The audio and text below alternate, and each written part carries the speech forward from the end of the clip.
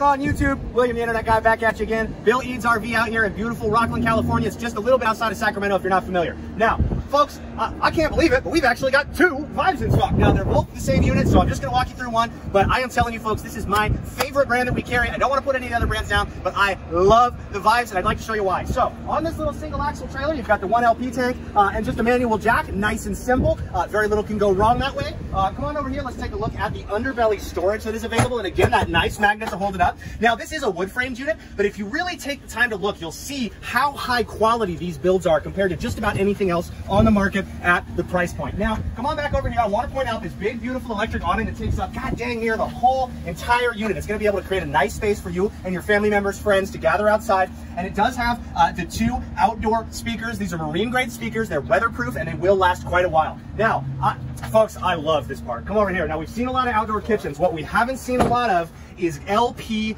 griddles. And that is exactly what this unit comes with. It is an LP griddle, complete with where you can scrape your waste. So cool, such an awesome idea. I cannot wait to see what you guys are cooking on these things when you're out in nature. Now, mini fridge here as well. And I do want to point out one little thing on the back. Come on back here. So you got your spare tire. Uh, it's backup camera ready, but check this out. You got two little windows here, uh, one for the upper bunk and one for the inner bunk. Let's go inside. It seems the wind finally died down enough that you can hear me. So we're going to go ahead and head inside and take a look at what we've got in store in this 17 DB from Vibe. Now, just real quick, these stairs, nice, easy, what you're used to seeing. They fold up, they tuck out of the way, super user-friendly, a nice big D-bar, pulling yourself in, nice and stable. And folks, you know how I get inside of these gorgeous RVs and vibes in particular, I, the white with the dark, I just love the way these things look. Now, up front, you've got a big, comfortable sofa for hanging out, lounging, chatting with the family. Uh, it does fold flat, and this Murphy bed will come down. And so your main sleeping area is here. Uh, it is a queen size with plenty of room to walk around, and a nice wardrobe here as well, uh, for kind of pretty deep in case you need to actually hang some stuff up in there.